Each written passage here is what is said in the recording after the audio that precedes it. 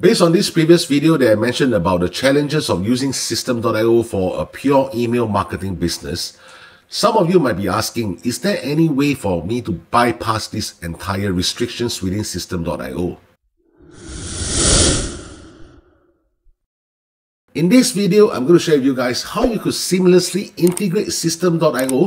to use their funnel building features together with a third-party software like Opt-in Dojo to track your buyer's email list and as well as an external email autoresponder.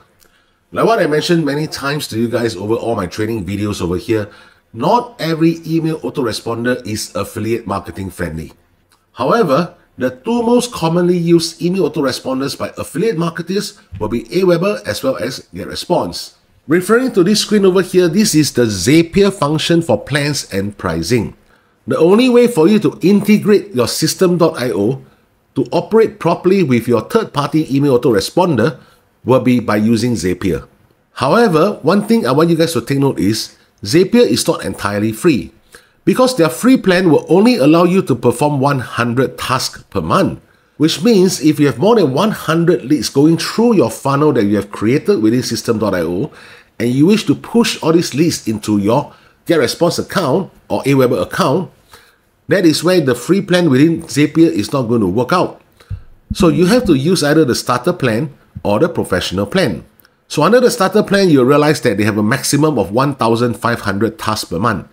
And if you're using more than 1,500 tasks, thereby you have to go for the professional plan, which is a minimum of 2,000 tasks all the way to 2 million tasks. If you really wish to save costs in terms of subscribing to a funnel builder software, like the one that I've described many times where I'm using for my pure email marketing business, which is Leadpages over here in this video,